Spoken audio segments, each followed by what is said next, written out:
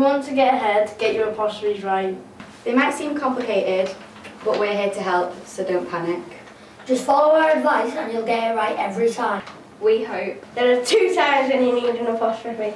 The first is for things called contractions. These are when you're making words shorter.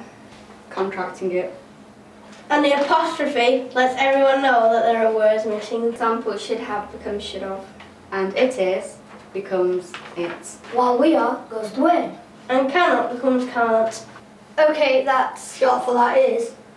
all for contractions. Do you think you can handle that? Good, then let's, Short for let us. uh, thanks. Move on to something harder. We'll, Short for we will. will you S you shut up? Where was I? Oh yeah, we'll move on to the second use for the apostrophe. Possession. When you want to show that something belongs to someone, you can use an apostrophe. So the bag that Mike has is Mike's bag. And the shoes that Claire has got are Claire's shoes. likewise all the buildings that make up our school are Penketh's buildings. easy, huh? You'll need to remember if there's Short for there is. very funny.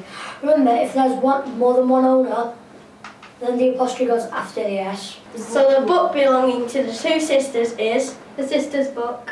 And the dog belonging to the three brothers is the brother's dog. And that's, short for that is, all you need to know. Thanks for watching and goodbye.